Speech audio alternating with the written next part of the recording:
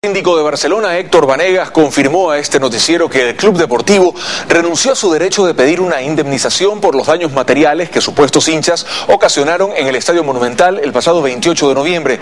Sin embargo, sí deberán realizar labor social y trabajos de reparación en el estadio cada sábado durante un año. Y su ingreso para ver los encuentros deportivos está prohibido.